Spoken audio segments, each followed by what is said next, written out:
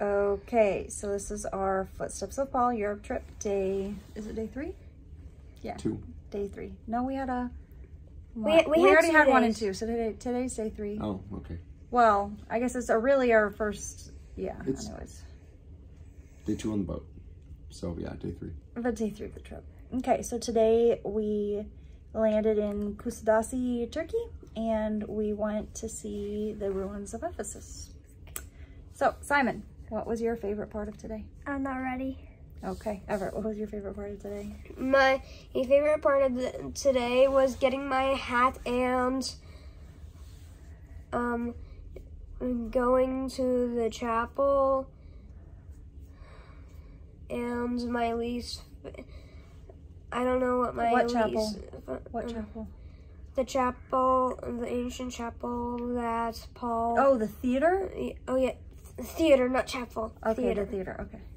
theater that Paul taught, taught to people with. And then my least favorite part about today was being cold in the rain and the, then my then something I learned is that that uh, that I was uh, walking where Paul is that that we ended up walking on the streets that Paul walked on. Simon? Okay, so my favorite part about today was getting my hat and and- and getting to see ruins. What I learned today was lear- learning about the ruins. Don't forget your least favorite. And my part. least favorite part today, today was getting wet in the rain. That's pretty bad. And my hat, hat got soaked, but it's all dry now. Yeah, my favorite part was seeing Ephesus. I mean, I know that's kind of like everything, but um, getting to see the columns and the stairs and the theater and the library of Ephesus and just seeing how big everything was and how well made it was. It was just really cool. Uh, my least favorite part was actually all the pressure from the Turkish locals wanting money from tourists. So there was a lot of just awkward interactions where they were just really trying to um, hustle for money. Um, so it was lame. And then what I learned, mm, I learned a lot about, it, we toured these like, um, what was it, six levels of, uh, they called it the Beverly Hills of Ephesus. It was like where the rich lived.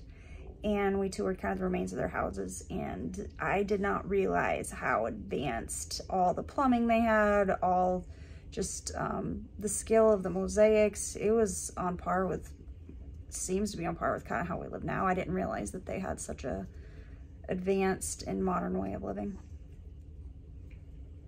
Um, so my favorite part was just Ephesus in general. I didn't realize how big it was going to be. It was, I mean, an uninhabited area. They hadn't built a new city on top of it, so it was huge and just all there to explore. So that was super cool. Um, my least favorite part was, yeah, it was probably the rain. It was annoying to get rain rained on. We got soaked. Um, it wasn't that bad, but it was still annoying. Um, but what I and something I learned was that Ephesus in biblical times was a port city, but is no longer a port city, and that's why the city.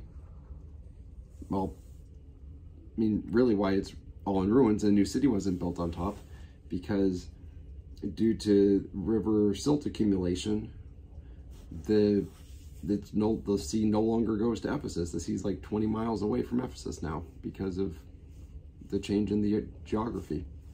Mm-hmm. So that was really interesting. All right. That was day three.